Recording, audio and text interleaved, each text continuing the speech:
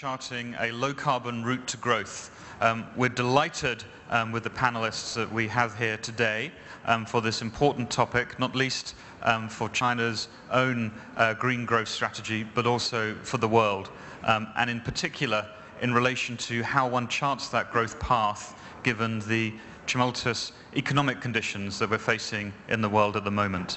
Um, I'm delighted that uh, James Cameron, um, Vice Chairman and founder of Climate Change Capital in the UK, will moderate us for this discussion. And I shall hand over to him to introduce the panelists and to lead us through the conversation for the next hour. Um, my name is Dominic Waughray. I'm a Senior Director at the World Economic Forum um, in charge of uh, sustainability, environmental and low carbon activities.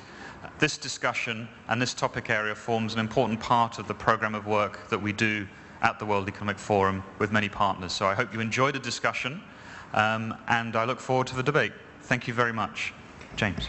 Well, thank you very much, Dominic, and uh, for all your work and your team's work on uh, making this a topic for, for our conversation today.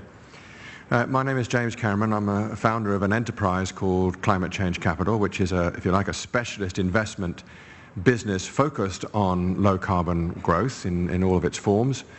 I'm also part of the UK Prime Minister's Business Advisory Group, uh, and I'm, I'm really there in order to help communicate the ideas that we're about to discuss for that particular government's uh, uh, analysis of how uh, the UK economy might develop over the years to come.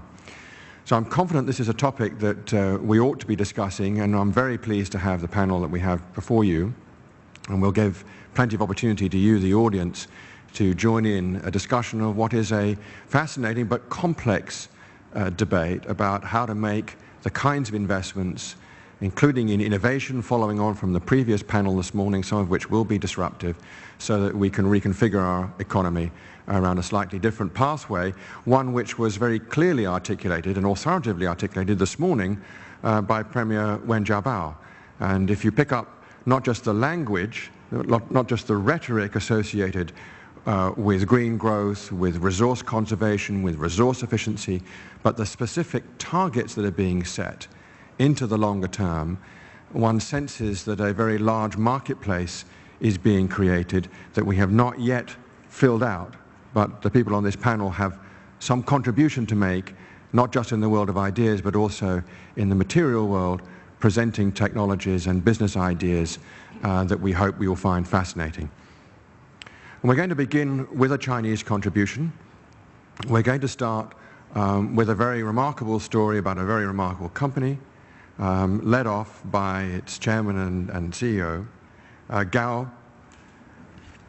Gao Jifan is the uh, chairman and chief executive officer of Trina Solar. And uh, he's going to give us a, a brief uh, description of, of, how things have developed there and answer the, the key question that we face, and all the panelists will pick up in one way or another this morning, this afternoon, is as major economies shift to a low carbon model, what are the implications for business globally? Gao Jifan.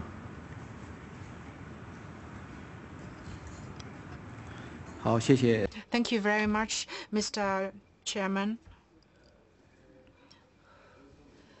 Indeed, in Premier Wen's speech, he mentioned during the 12th five-year program period,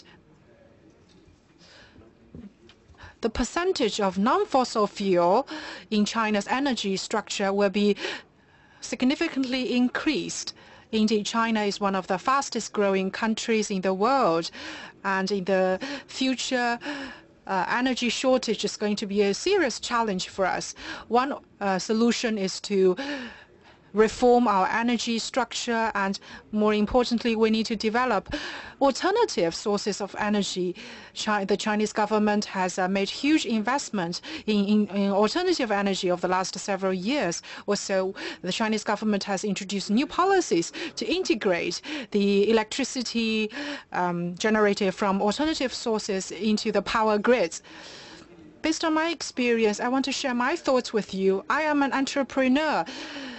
I uh, graduated uh, from college and got my master's degree in 1988.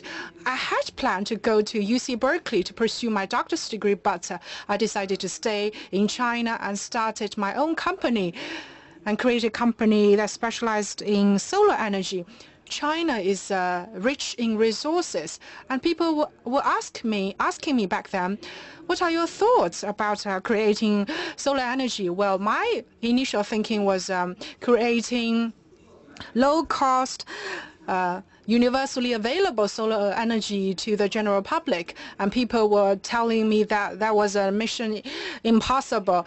But we are um, making our steps towards that dream, and Trina Solar has now developed into one of the leaders in this area, and China itself has emerged as uh, one of the most innovative countries in the world in solar energy.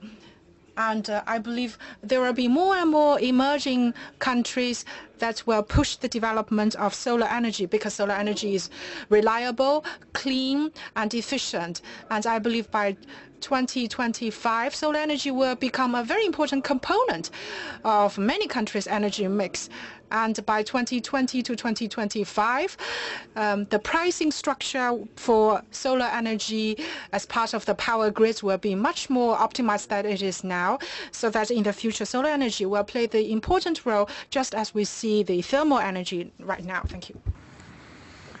Thank you very much, and we will certainly return to some of these technological innovations and the capacity we might have to scale them up so that a, a low carbon pathway is possible for many different economies. But let's now turn to, to Klaus, Klaus Kleinfeld, who's the chairman and CEO of, of a very significant global enterprise, Alcoa, uh, with, a, if you like, a natural position in carbon, um, but with a tremendous scope for innovation and perhaps you might describe uh, where you've got to in your thinking about this uh, new pathway. Yeah, as you, as you said correctly, I mean, we are lucky to have uh, a material that uh, solves, I mean, in a way, uh, aluminum is in, infinitely recyclable. 75% of all aluminum ever produced on this planet is still in use. It's light, it's strong, so it's part of the solution. Um, but I think uh, that, that's one thing, and, and that, that's important. So it's growing in all kinds of application and helps to reduce the carbon footprint. But I think that's one thing to do. The second thing is you also have to internally work on the processes. And if I look at if I look at what we have done over the last 10 years, I mean, we have reduced our carbon footprint by almost 40 percent. Uh, today, on the smelting side, I mean, uh, about two thirds of the energy that we use in smelting is hydropower right? And and I believe that uh, we really, I mean, with this can contribute, I mean, to a sustainable economic growth. I mean, on the larger, on the larger theme here, uh, my, my, view is that we need to have more of an understanding of kind of uh, cradle to cradle. I mean, what, what is, because very often the debates that we are seeing are debates that uh, stop at one point in the value add chain and do not look throughout the value add chain and, and very often do not, I mean, there's a lot of uh, wordsmithing done here when you talk about recycling, for instance, you know, people now talk about all kinds of recycling, but in the end you see that very often material materials only have 10, 15% that get recycled. I think there's an understanding that we need to have and a little bit more of a precision on how we measure these yeah. types, these types of things throughout the value chain. Also including, for instance, when we look at, I mean, lightweighting in cars, I mean, we can easily shave off 40% of the weight of a chassis in a car or total 10% of the total weight of a car through lightweighting with aluminum alone, uh, which basically equals uh, a 10% reduction in, in I mean, these are things that are critically important uh, for, for us jointly to understand. And I hope that in the debate we'll talk also a little bit about what governments can do and how we see that role there. We certainly will. We'll be picking up uh, the, the right public policy interventions that can encourage innovation and also perhaps return to the theme of, of the right metrics for measuring yes. performance along the way, because that's obviously critical. Um, now, there, there, are, there are many different perspectives to, to bring out here, but one it's clearly very important for the whole development of this subject matter is the role of government and, and the right interventions made by government uh, so that the right responses come in a way that can encourage the development of our economy down this new pathway. Um, we're very fortunate to have uh, Kondo here with us, who until very recently held that position in government to guide and, and direct uh, environmental initiatives in the government of Japan. And I'd be curious to know if his perspective on, on the nature of green growth and the kinds of interventions that he would expect to see, not just in Japan, Japan but perhaps in some other economies as well. えーご紹介いただきました Thank you very much, Mr. Moderator. As was introduced, uh, I am the member of the House of Representatives and I serve as the State Secretary for Government until quite recently under Prime Minister Kan. In taking part in this discussion, uh, I'd like to thank you very much. On the 11th of March, there was a great earthquake in the eastern part of Japan, many lives lost, and there are still many people in very difficult situation under evacuation. But um, we received a lot of support uh, and expression sympathy from throughout the world. We are most grateful, touched, and moved. And uh, in fact, this big earthquake exerted impact on the Japanese situation and the policies we take. Two years ago, as the Democratic Party of Japan's um, uh, uh, regime, uh, when we took the initiative, we have announced uh, the global um, environmental policy of reducing 25% of uh, uh, greenhouse gas by 2020 and uh, uh, laws uh, to support this has not been enacted yet, yet, especially in conjunction with the tax measures to enable these measures, as well as the um, buy-in system of buying the renewable energy has not been established because the business circle is afraid that buying the renewable energy into grid may increase the power uh, rate. And also, uh, under uh, the impact of the great earthquake, uh, earthquake there are worries and concerns uh, that the new measures may exert the impact on the business activities. Well, because we had such a situation, we should try to see for the generation of power in a distributed and dispersed way without over-dependence on nuclear power, but taking more dependence on renewable renewable and alternative sources of energy. Therefore, uh, we um, established the feed-in system law of uh, the uh, renewable energy source to the power grid in the past parliament session. And um, uh, it um, uh, Uh, has not yet passed the national diet, uh, but the uh, uh measures have been taken. And with the tax support, uh, we should create a low-carbon society. And it is not just a simple prevention of the warming, but it is creating the new type of society with the distributed power sources. Thank you. That's fascinating. There's clearly a lot going on in Japan and this potential for, for regeneration or reconstructing Japan down a, a, a, greener pathway seems to be very attractive, not least to, to the younger generation as well, who's seeing opportunity for themselves to, to innovate in that space. Now, Malini Mehra, you've been involved in social entrepreneurship. You advise large corporations, help them uh, get a broader perspective on their day-to-day business, and you have perspectives on, on, on different pathways for development from your day-to-day experience. Perhaps you can share those ideas with us at this stage, and we'll come back to some of these themes of how best government should intervene. Uh, thanks very much, James, and good afternoon, everyone. Um, I think in terms of alternative pathways, we have several decades of literature and experience from civil society and also green, green companies across the world, which is showing how actually you can put concepts such as cradle to cradle in practice. Um, there are a number of challenges. I think that the, um, you know, the biggest challenge we face right now is an enormous gulf between the companies which have bought onto the green agenda.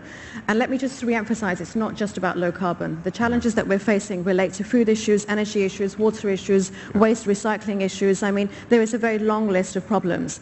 And we need horizontal integration across all of those. We also need leadership. But if we're just to have um, a small minority of leading global businesses, which are the converts, and we have the rump of business, which is unaffected, and certainly in countries like my own, there is very little mobilization on that rump of business, yeah. which still feels that it, it can externalize the social, the environmental, the ethical costs.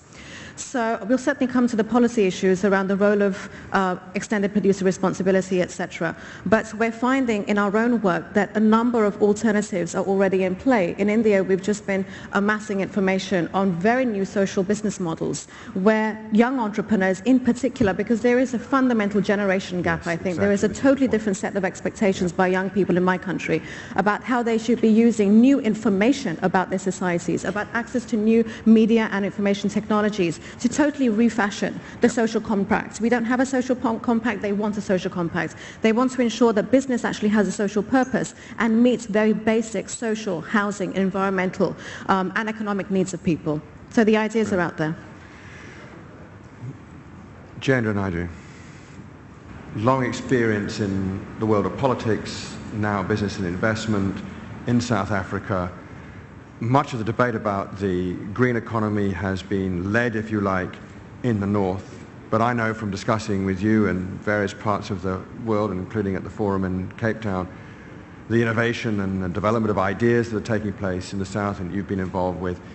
Um, perhaps a perspective from South Africa on green growth and some of your personal experience of how hard this is to do, but how important it is as well. Okay. We, we, we're an investment uh, company which inter alia invests in a uh, very old technology coal-based uh, power station on the one hand, and on the other hand we have uh, developed together with the uh, power utility in South Africa a new uh, technology for the smart uh, grid. Initially we started off as something to stop blackouts and then it developed into something much more ahead of its time. Very uh, cool and exciting uh, stuff. Um, and I think the, the, uh, the learning that we, we have from this, of course, is that you know, when it comes to old technology and old business models, it's much easier to do business. You know, you know your path to revenue, you know your path to contract, capital is available. So it's much easier to fund and develop uh, established businesses. And it'll continue for some time. But businesses that are at the cutting edge are much higher risk.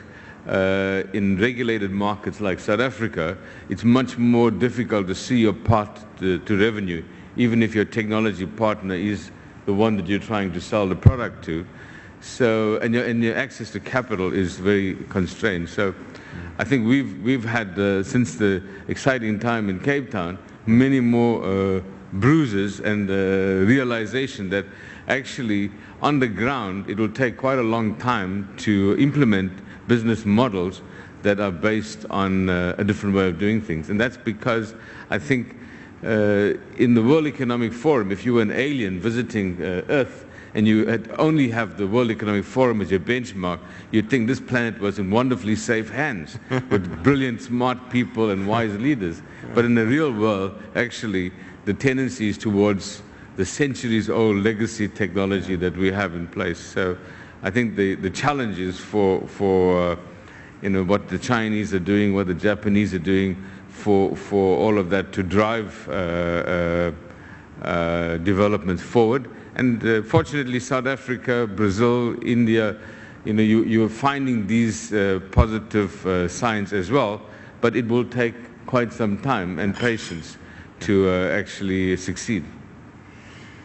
I'm going to come to this great and wise and brilliant audience in a minute, so start preparing uh, your questions. But just a, a, a quick roundup of some themes that we to, want to, want to deal with some more.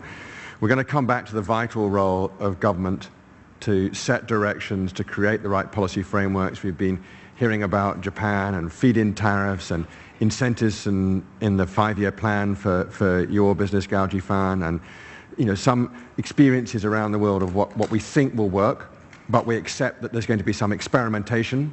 These, these, are, these are big changes. They're going to take time. We haven't got all the answers, but we do expect some leadership from government to help organize the business response, to incentivize the business response. We're aware that there are incumbent technologies, there are strong vested interests. Uh, they were nicely discussed in the previous panel in this room. Um, but we also know that there will be disruption, it will be exciting, uh, there will be new technologies, uh, and they will find much larger markets because of this new demand that are being created.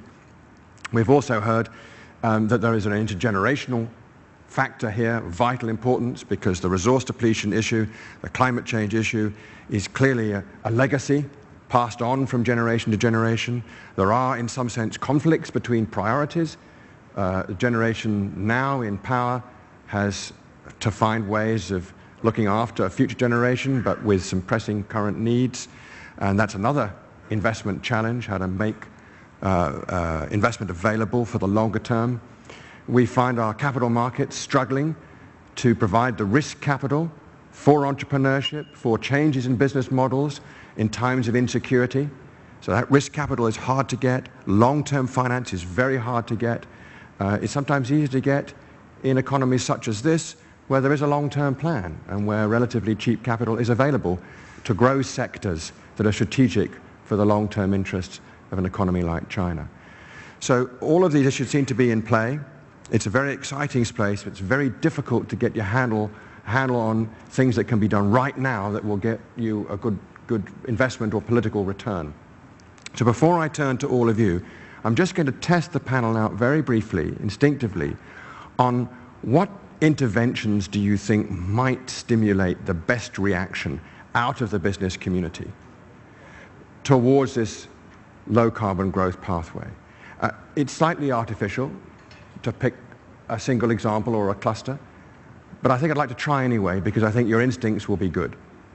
And I'm, i might just start with Malini. If you, if you were to just give your advice to political leaders in particular, choose this and we think we'll set take the first good steps down a low carbon pathway, what would it be? You know, what's been really striking talking to leading green entrepreneurs in India, and these are CEOs, not just entrepreneurs, but also CEOs of big businesses, is those who are doing the right thing for the right reason feel, don't feel rewarded in the marketplace. Right. They don't feel that their customers are rewarding them. And they feel we're doing the right thing because we are driven by the right set of convictions. We would still want to be around and we want to be successful in another 10 years, 20 years. I think there are two ways in which businesses like those can be supported and uh, motivated to continue on that path. The first is for the government to provide some means of recognizing their good works through the fiscal and taxation system. Right. Find some ingenious way of doing that. Um, the second is for there to be more credible kite marks of excellence, right. such that you can actually differentiate yeah. between a company which is actually doing good, not yeah. just talking about doing good, measurably, verifiably doing good. That's a link also As to opposed to point about good metrics and good, good, data. So those two things. Yeah, lovely. Klaus, is, uh, a response? Let, let me talk, uh, give you two specific examples that I've seen in my lifetime working enormously well, and at the time when they got started, you wouldn't even notice them. Why is Denmark, I mean, before China became the, the center of the, the wind industry, Denmark was the center of the wind industry. Why is that so? Um, having gone there in my youth uh, all the time and seen how people have been experimenting with it, there was one single change of legislation in Denmark, and this was in the 80s, where the Danish government decided that if you are producing energy, you can have the meter go backwards. Uh, and, and that would mean that you would actually get the same amount that you would have to pay for a kilowatt hour I mean, the respective utility would have to pay you if you were producing energy, right? That's, that alone, I mean, that hundreds of farmers, you know, that didn't have anything to do in wintertime experiment with wind energy, right? And here we see what innovation can produce, right? That was one thing. The second thing I've seen in Germany, and uh, I still remember, I mean, Germany is a country that loves to drive cars. Uh, we all know that, and has autobahns and loves to drive fast. You know, it was an unbelievable shock in my youth when there was, I think it was four weekends, autobahns were closed down. And it was the oil shock, you know, and it became crystal clear. You could not drive. That was like, I mean, you take I mean, beer away, it was probably, probably worse, you know. All the soccer team is going to lose, you know. So something like that, a real shock. And on top of it, uh, there was a huge tax on, on gasoline, huge tax on gas. Gasoline was extremely expensive. So what has that led to? I mean, when you look at today's innovation in of uh, fuel consumption, I mean, there's no, there's no surprise yet that you see when it comes to motor technology. I mean, those countries that have made it extremely difficult to use gasoline, extremely expensive, were the ones that were driven through efficiency at a very early point in time, you know. These things work very well. So as a regulatory intervention that encouraged innovation. There's a fiscal measure that put a price, and you know, a price on carbon is one way to do that. And there's a cultural effect from the, It- the shock, you absolutely, like, of the change. absolutely. And I mean, the- one example that also I think is a great example is obviously uh, John F. Kennedy's, I mean, plan "Go to the Moon," A mission, which is a, yeah. a mission. A mission comes also from a shock, by the way, the Yes. Sputnik shock, Yep. right? And saying we take that as an opportunity and we move forward. Yep. And we had a sense of that a bit this morning. Uh, you know, emission. You know, this resource efficiency is going to be the way economies develop and manage risk associated with conflict over scarcity. And this is this is. We, I'm, very keen to make this connection between managing risk for an economy and low carbon growth. You can use low carbon growth as a, device for dealing with climate change. You can use it for, a- as a device for managing resources efficiently, and you can find a way of having a more stable economic pathway in front of you. And these things uh, we need to explore a bit more with the audience. Any other? Jen, if you pick one, Yeah. An You know, intervention? the- McKinsey has done a very interesting uh, study. And if you look at that, the, the low-hanging fruit that's available for developing a low-carbon economy is really the uh, area of uh, energy efficiency. And there's a whole range of uh, relatively cheap but high-impact interventions that can be quickly done and which would take out 30 to 40 percent of the uh, uh, potential emissions in the world in the next 20, 30 uh, years. And in order for that to really take off, I think uh, the, key, the key thing is that people need to have information where you can measure what you're doing and you can see the financial uh, consequences of that. Because that, that I think is the key. Business is not, Yeah. no matter how, what convictions they are, you're driven by a view of the financial implications of what you're doing, whether to invest, whether to deal with your costs Right. in certain ways. So a, a regulatory change with a smart meter and a smart grid where you could exchange not just data but value Did you notice the way I was? would be very, smart, good. very smart. okay. Um, well, yes, go, go ahead, John. 好，这个我补充一下，就是在这个走这个低碳发展之路，或者是 在能源未来能源能源这个结构的一个这个选择上面，我觉得就是要 uh, choices.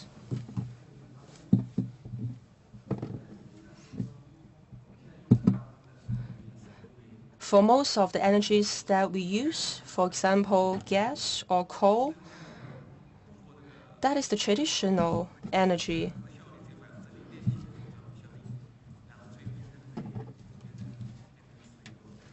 And eventually the co- and in terms of the use of 虽然现在这个 Well, right now, we still face many difficulties or loopholes in utilizing solar energy, in particular due to uh, unpredictable weather conditions. Uh, we still have a lot of unpredictabilities in energy conservation systems. But I believe we have a very clear direction forward. Once we are con- we are very sure about the way forward, then we can be very confident about how to solve the challenges in front of us. And I'm very confident that we can be very successful in further utilizing solar energy. And once we are sure about the direction, then the government uh, should introduce the right policies, the right incentives to support the development of the indus- of this industry. Government policy support is uh, very essential for promoting uh, the development of this industry. I know in Japan, in Germany, uh, which are the forerunners of solar energy. In those countries, uh, the governments and the enterprises have the right incentives in place to uh, be willing to invest in this industry and to grow solar energy in real earnest, despite the uh, occasional failures. On the whole, they have been uh, they have been very successful in developing solar energy in Japan, in Germany, and on the whole, they have greatly optimized their energy structure. I have been engaged in the solar energy industry for about 14 years, and based on my experience, I think solar energy plays a um, is going to play an even more important role in our society, which is going to be beyond our, all our imagination in the coming years. Thank you. I think we'll come back to how, how big a part of the future these technologies could be. Um, but let me just finish off uh, with Shoichi Kondo. If you have a, a, a, particular instinct from your political experience as to what public policy interventions might be most effective in, in creating this pathway to, to low carbon growth.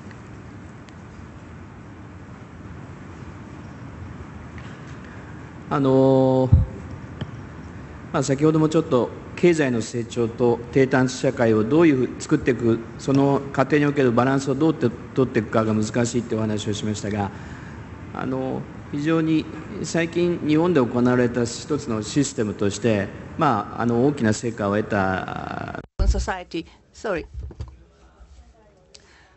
I talked about uh, this uh, earlier. The one measure was uh, that the pricing system for the energy-saving consumer electronics, and the buyers uh, uh, get the point back, and it could be used for purchasing consumer uh, uh electronics uh, devices, and also for housing the EcoPoint system. When the good heat insulation uh, device is put in houses, then the the owner of the house will get the points and could be could save the cost. So this kind of measures will will be introduced and promote the awareness among the people and also promotion of the low carbon uh, society. And it was very well received. And the government is further em emphasize that, as Mr. Gao Jifan mentioned the, in Japan, because of the regular checkup of the nuclear power plant uh, in this uh, country, and when they do not re,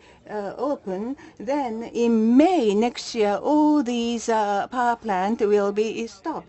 And we cannot uh, switch to no nuclear power uh, society overnight. But what becomes important is uh, to uh, promote the use of renewable energy and the solar energy and the wind energy with the feeding system and also fiscal and public support, public finances support to those industrial sectors.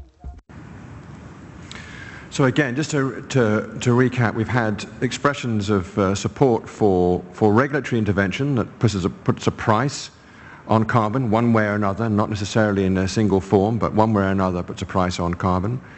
We've had a, a strong connection with the consumer made through these initiatives in Japan where you get a, a, a payback from, from purchasing, which it responds in some way to Manny's request for a reward that connects the consumer and the manufacturer.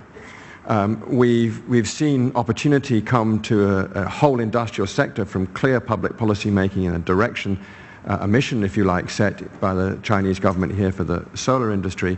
And we've got examples of business innovation happening around better metrics, uh, uh, a better display of performance uh, that people can feed off literally in the, in the business environment. Before I come to all of you in a moment, uh, let me just go around again and look for the kinds of um, innovations, both business and technological, that you see offering best prospects now that we have some sense of the necessity of government intervention uh, in many forms without picking a single uh, uh standout measure. which technologies, which business models, which ways in which our business community could adapt and develop to these challenges do you find most promising? Who would like to lead off there? Anybody Klaus, have you got a, a, a yeah, something I, I, you can see in your, yeah, in your sights? Yeah, connecting to a thing that was said before. So let's start with businesses. I mean, why are businesses doing it? I mean, businesses are first of all doing it because the economics work out, right? So that, that would be a good thing if the economics would work out. Secondly, uh, it would be good if you were, were to see that there would be a stronger push on the consumer side to go for the right, I mean, choices, right? That's where, where we're connecting to the earlier debate.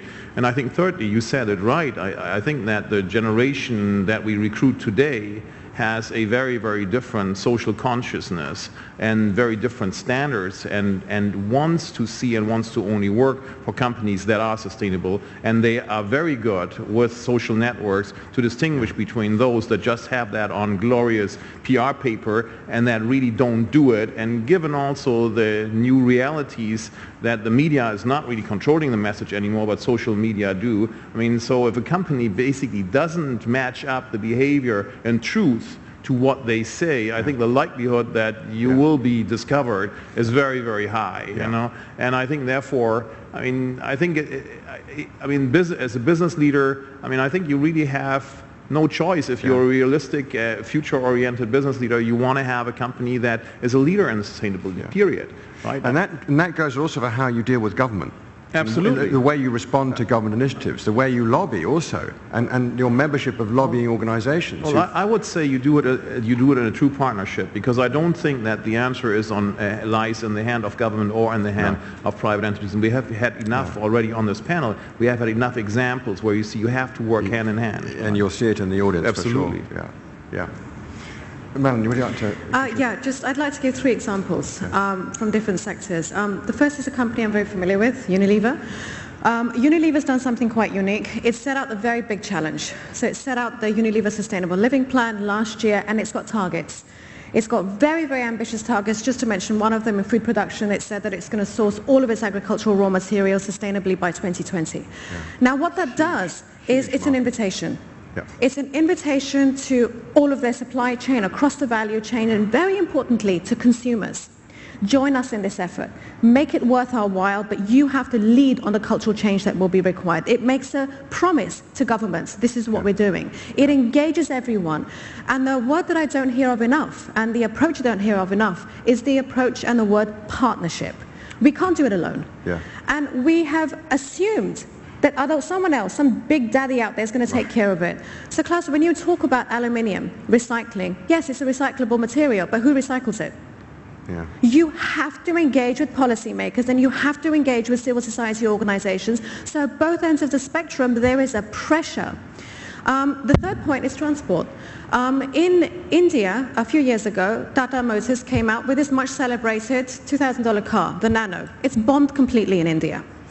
Um, they could have done something totally different, totally ingenious. What they could have done is actually worked with the municipalities and the planners and say, what is our mobility need and how can we, as a motor manufacturer, help supply that? Yeah. They should have worked with the planners in a way that in Berkeley, yeah. automobile companies and city planners are working hand in glove. So these are the pathways forward. It's partnership. Yeah, yeah, and we heard an example earlier today on, uh, from Korea um, of the, exactly that partnership between a university and a government and, and, and, domestic manufacturers to build a new kind of vehicle, a new kind of transport system. Um, terrific. Any, any other uh, contributions that you can think of where, where there's an innovation that's exciting that we can talk about well, in the business setting? There's a lot of uh, innovations that exist that can be applied in an incremental way that can make an impact. Yeah. And there's a lot more exciting stuff in the pipeline and things that we haven't yet thought about, which is coming even in areas exotic like energy storage and, and all of that stuff. Yeah. But uh, what drives all of this is actually economics and yes. politics more yes. than technology. And I think that's, that to me is a critical thing. And when people have a business case, you know, uh, whether it comes from regulatory pressure or consumer pressure, yeah. that is going to affect the bottom line in terms of the cost going up or the revenue opportunity um, you know, being affected negatively or positively by what they do, that's going to make the, uh, the things change. So for example, you know, one of the things that we were looking at trying to develop our business case was the carbon credits. Yes. And we come across the thing that it only applies when you don't have a viable business. So, okay. So unless it's a really crap business, yeah. you shouldn't apply for carbon credits. So, okay, that's a bad idea in my opinion. It's a really bad idea. But if you were to say these businesses are actually having a positive impact on carbon emission, they should get some credits. Those businesses having a negative impact, they should have to buy these credits. And you don't have to put any special tests, and only buy it from the disabled. Buy it from somebody who's actually providing. That, that kind of thing would release uh, businesses into a positive business case yeah. towards and investment flows towards towards the, the new areas. Oh, you've hit such a sore point in my own personal history with that example, because there is a policy mechanism that I think all the panel, in their various ways, to some extent more exposed than others, would agree on, that a price on carbon will help innovation in uh, the development of a low carbon economy. But how you do it, how you make the mechanism effective, how do you reward the good behavior? That requires very skilled public policy making and it requires a very honest and straightforward dialogue between powerful interests, both on the environment side and on the business side. And what we've come up with is something too complicated that doesn't create the alignment of interests that you were describing, with many people on the environment side wanting to limit the opportunities to do these uh, projects in order to punish business, particularly in Europe, uh, and make them perform to a, to a higher standard. And as a result, we have a dysfunctional system. But the concept remains good, and we'll have to keep coming back to it because we haven't got a better one right now, I don't think, personally, to cover the whole economy. Um, but one thing I'd like to return to, particularly with the Chinese example, although I think there's a, good examples in Japan as well, Gao Jifan, is the availability of relatively inexpensive capital, of finance, for this transformation, partly because the government is involved in the enterprise, and partly because the government has offered a very substantial marketplace looking ahead for this technology. It's a combination of policy direction, some procurement, and cheap capital. And in answering to that question, this is clearly of advantage to China. Is there a possibility, Gao Jifan, that this could be extended overseas as China wants to put more capital overseas, we mentioned this morning in Premier Wen's speech, foreign investment, investment by, by China in other economies on this green growth pathway looks like a promising idea. Do you, do you see that possibility, maybe particularly in the solar sector? Yeah. 整个这个整个一个，比如像这个 Indeed, for the solar energy sector, the government's policy support is the fundamental uh, factor to enable the growth of this industry. And more importantly, it's about win-win. We can't just simply rely on government subsidies to grow this industry. We have to rely on our own organic growth. For example, for my company, Trina Solar, in 1996, we were listed on the New York Stock Exchange, and then we started investing worldwide. Right now in Europe, in the U.S., Middle East, we have uh, all kinds of investment investment projects going on in all these different geographies. Therefore, I believe government support is one thing, uh, it creates the foundation, but on that basis, more importantly, uh, the investors should find ways to uh, sustain their investment so that uh, we can create win-win benefits for all stakeholders. And in terms of technology, um, previously, when we looked at solar energy, uh, we would always choose uh, places to invest where uh, we had a very good uh, pricing mechanisms in place, especially for incorporating solar energy into the power grids. And those countries would be Japan, Germany, etc. Um, right now, there are many new ideas. For example, for individual households, right now they can power their house by relying on uh, solar energy 100% rather than relying on electricity from the power grids. Maybe by 2020, I believe there will be many, many more households around the world that are powered 100% by solar energy. That is, their house will become a zero emission uh, household, and the household can become an independent unit for energy conservation. So by then, by 2020, these households will not be limited by the power generation capacity of the power grids. If my dream can become true by 2020, then solar energy can play such a powerful role around the world and would not be so limited by the power grid systems around the world.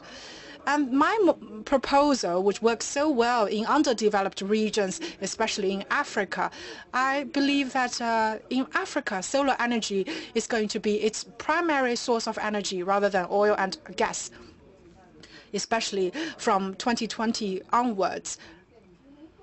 Thank you very much. Now it's time for you, audience, to uh, bring your questions to the panel. Um, I, that last point I find really very exciting to contemplate. Um, I'd like some views about that. I'd also like to see whether or not we um, feel it's a credible proposition, this green growth uh, pathway. Lots of difficulties, lots of expenses, lots of costs, but also the prize of a more resilient economy with lower operating costs may lie ahead, with that last example being in our minds. So um, lots of hands have gone up. Gentleman over here in the, in the tie, and, and then followed by you, and then there are two back there. So let's start. Maybe we can just take one, two, three, and then, well, four. Maybe we can take the four questions in a row. There's one over here too. That's a lot. Let's start over here and we'll get them in a sequence. Yes, my name is Raphael. I'm uh, representing M&W Group, an engineering company for high-tech facilities. Uh, I'm missing one part of the discussion from the current business model. Uh, when you look to the past, it was always that there's the industry that needs the energy at a certain space, at a certain time, and the producer just has to follow. So most discussion is about it's not available when you need it and it's too expensive because you have to store it. So I was wondering, perhaps to Mr. Kleinfeld, as somebody that knows a lot of industries, how do you see the role of the industry in becoming more flexible in utilizing energy when it's most cost efficient or in, in storing the energy right in your production process rather than having external storage for it? It's a great, great question. I'm sure, Klaus, you have a view about that. And might also add one more notion we might want to discuss about business models changing from selling products to selling services, which may well emerge in the automobile industry in due course. Uh, gentlemen here, just say who you are and ask a question. Okay, uh, I'm from China. I'm from uh, Zhejiang. So my question is, I would like to ask the panelists just now you've talked about the policies in your own country. However, in the globalization in the globalization world, for a lot of developed countries, they will open their factory in developing countries. Maybe the the companies in their own home countries are low carbon. However, the factory in the developed countries are not low carbon. One example in point is Apple. Also, a lot of factory set up by the Western companies in developing countries are highly polluted. So my question is that are those companies willing to show their, their responsibility in the process? Are they willing to provide technologies and finance to developing countries in order to solve this problem? Thank you.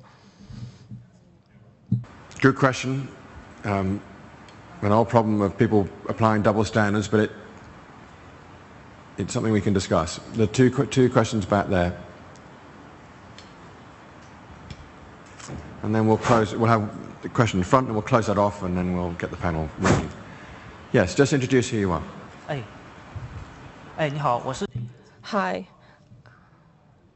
I'm from Economist Observer. My question is directed to Mr. Gao. Just now you've mentioned about the pricing of electricity. I would like to um, ask you, recently the NDRC has uh, set up the price for uh, electricity. So my question is that the price for electricity is 1.15 RMB, and the RO, uh, the return on investment is 0.8%. So when can we earn the the return on investment? Can you uh, explain on this problem? And also you've mentioned about development of new energy and development of new energy required policy support. So from your perspective, what kind of policies can best support the development of solar energy besides the policies in terms of the pricing mechanism? Thank you. I think we've probably covered the policy angle already, but perhaps if you pick the first part of the question up. Um, yes, go ahead. Uh, Hi, I am also from Economist Observer. Uh, my question is directed to the Japanese speaker. I know that the nuclear power take a very large proportion in terms of the energy structure. So you've talked about the, uh, di the diversification of the energy structure in Japan. So what kind of resources are you planning to replace nuclear power? Do you have a schedule? Because I know there might be some difficulties in terms of legislation. Thank you. Mm, what else apart from nuclear power, combination of new sources and decreasing demand? Here we go in the front here. Last one, then we'll have the panel. Hi, my name is Manuel Tarauta from Seoul Semiconductor. I fully agree with the whole panel and with Ms. Mehra about the incentives and the um, political government um, incentives and with you, Mr. Naidoo, about the hanging fruits. But unfortunately, um, I see that only two big countries are really working and taking this really serious about the energy. This is Japan and one is uh, South Korea. And I would like to ask you, Mr. Kondo, if you could teach us, if I'm looking this year, um, 8 of 10 LED bulbs, 8 of 10 are LED bulbs and retrofit tubes um, and this only one year, they save 50% of energy. So this is the safest uh, energy because it's really green. You save a lot of energy. And how you did it, I would really like that you teach us what you did, what programs you started, um, how, why customers now are buying so many LEDs retrofitted. Yeah. Um, this I would be really interested. Great question. We've made an investment in an LED lighting business and we're very pleased with it. Um, you pick up what you wish from those questions, some being targeted at various individuals. As you make your answer, since we're coming to a conclusion, I'd like you to just address the notion of competitiveness. Because in many of these questions, there is buried in it the idea that there either might be a competitiveness cost in making this change, or there might be a competitiveness gain. And I'd just like your instinctive response to that as you answer these questions. Maybe we'll be, begin with the, the, the Chinese uh, uh, question about the solar industry and the, and the rates of return.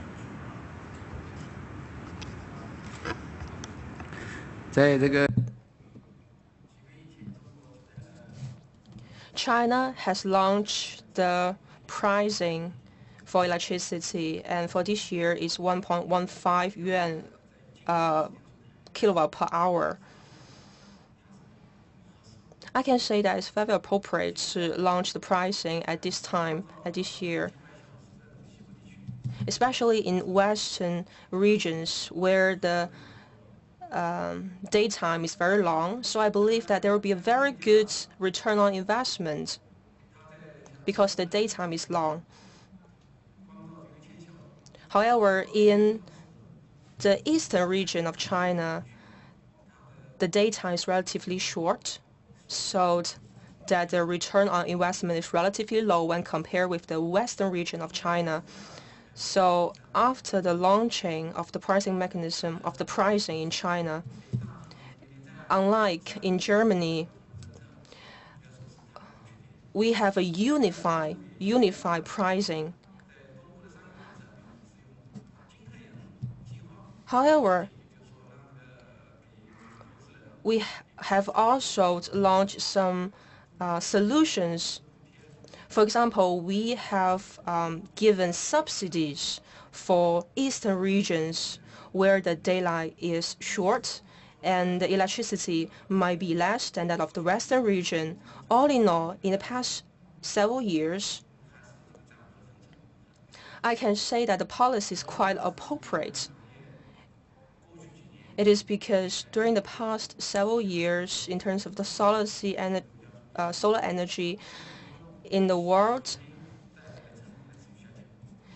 because the government given a lot of support and the innovation is continuing so that the cost of the solar energy has been decreasing all the time.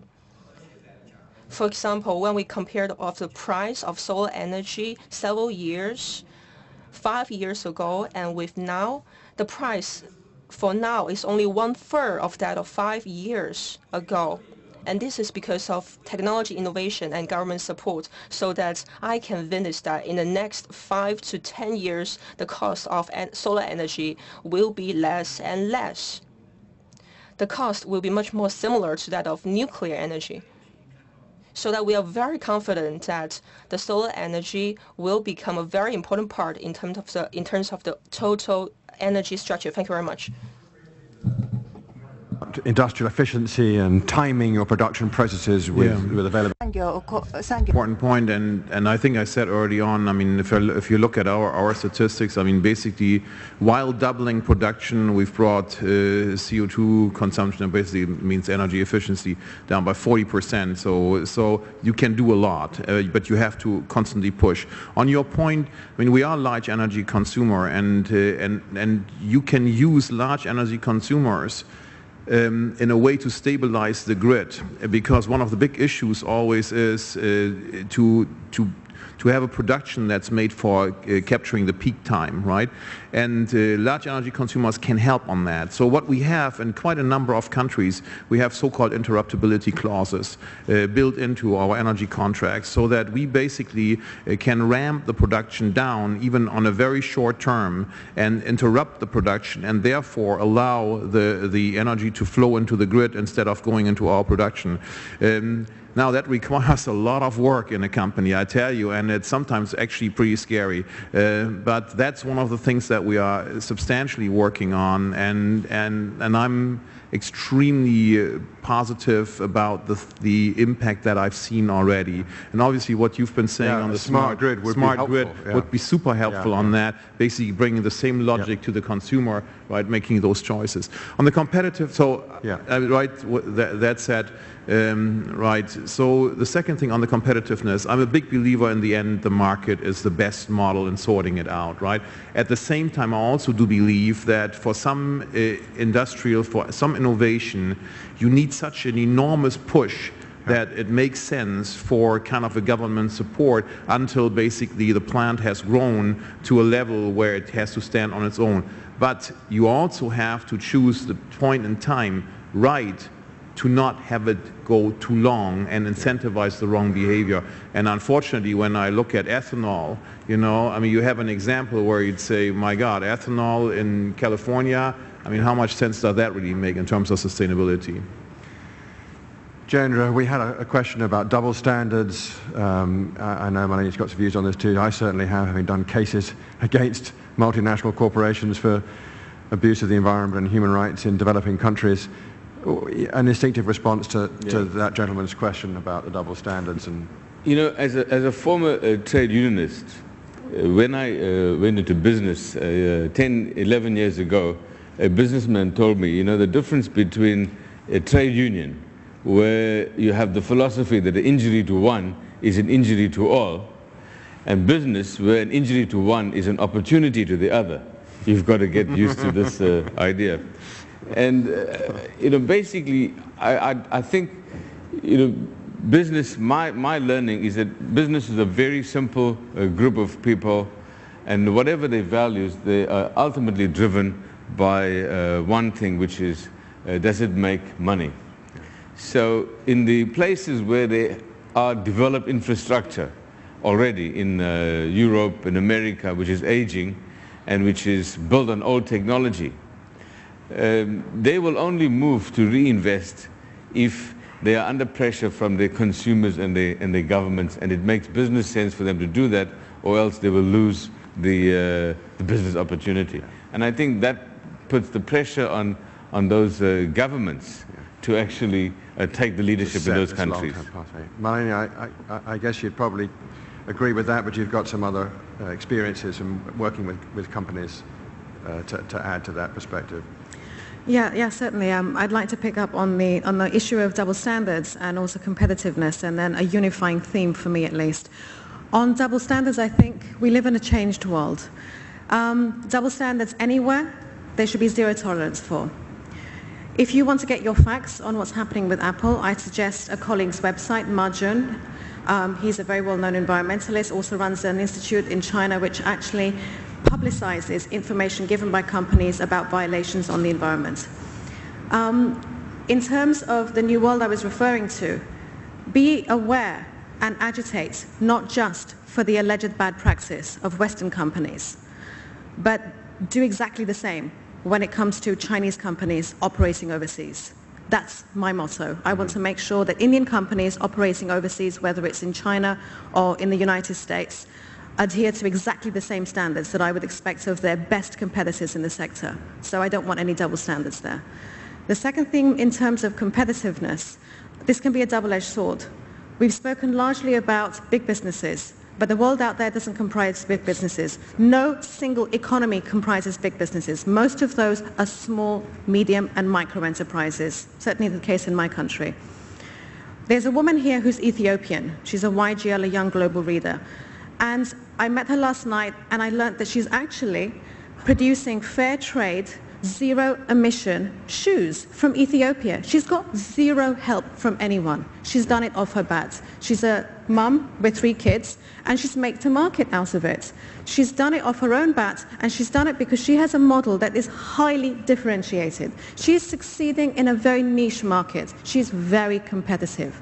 But she relies on a very important factor out there, which is an informed, aware and concerned marketplace yeah. of largely European and um, American consumers who want to do the right thing by purchasing from women like her so that she has an income and she can contribute to the social welfare of her country. Brilliant. The only way that we can get both the balance right by the margin example, because he's providing information, and by the aware consumer example, is if we have open societies. And for me, that is the unifying thing. We can do it because information out there informs the best decision making. So fight for an open, informed society. Brilliant. Final word, maybe if you could just pick up the specific example of the LED lighting, and then I've got to bring it to conclusion because we're out of time. Thank you, Mr. Moderator. Uh, two uh, questions were raised, and uh, I'd like to give three answers. One, there was mention of a business model after the earthquake and disaster this time in eastern uh, Japan and uh, metropolitan Tokyo area, power supply has been very severe and strict. And the important thing was how to reduce the peak level of power consumption and how to ensure the supply to meet the uh, peak, demand. And then uh, the storage battery became the center of attention. Large capacity sodium storage battery, and the government will be supporting the, all these efforts to come up with the highly efficient storage battery. And also going forward in Japan, big uh, uh, issue is to reduce our dependence on the nuclear power uh, generation. And I was working in the environmental agency, and I'd like to make two points. Not just the supply side, but the demand side. That is, maybe we've been uh, over uh, consuming power and we should reflect upon that. But the necessary power should be uh, spent and used. Then how to make the wise and efficient use of energy? There was mention of LD, LED light bulb in order to uh, light the light bulb or use the refrigerator or TV, the same consumer electro uh, electronics but highly efficient energy-saving devices. Therefore, the people are looking at that, maintaining the same level uh, of efficiency and the standard of living, but go to the more uh, efficient and energy-saving uh, devices. Another is the renewable energy sources. And uh, during the last parliament session, we have realized the feed-in system of the renewable energy. And also, as the Ministry of Environment, we are uh, trying to establish a good um, investment environment, give the uh, information as government where is a good location for the solar power or the wind power or geothermal power generation. What is a good location for such renewable energy generation? So we give the entire information so that there will be more investors business going this uh, direction. So we are trying to create such a good uh, business environment. Another point is we will be embarking on the entire review of the energy plan. And for renewable energy, in the early part of 2020s, we will make sure that the renewable energy will account for more than 20% of the total primary, primary energy supply in Japan. There was mention of LED light bulb. Well, this time, uh, entire people in Japan became fully aware of the possible shortage of power supply and tried to uh, share in that effort.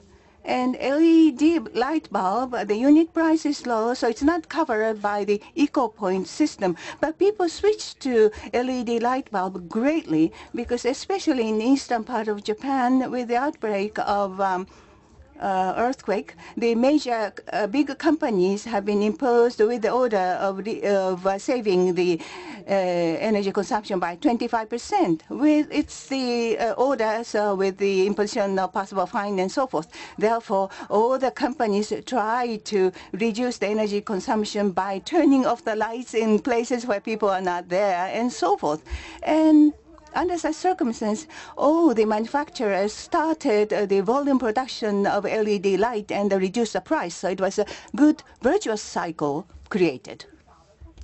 Tremendous story to finish up on. Uh, thank you very much, the panel. The panel is not naive about the difficulties of charting this low-carbon pathway to growth, but I think you've held uh, their attention for some time now. They're focused on opportunities. It's quite optimistic and uh, I commend their, their uh, observations to you and uh, look forward to further discussions. And thank you very much.